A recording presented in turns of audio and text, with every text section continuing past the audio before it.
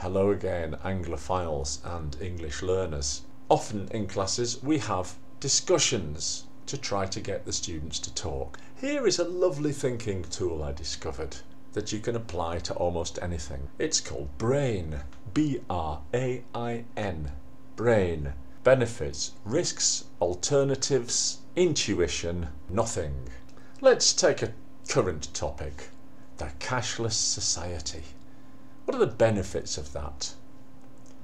Well, here the students would find things like it makes crime difficult, you don't have to go to the cash point, you don't need actual physical money, you don't have to print it, produce it, doesn't get dirt and drugs all over it, and you can register everybody's spending.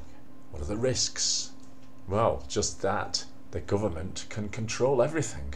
It's possibly more open to fraud than cash.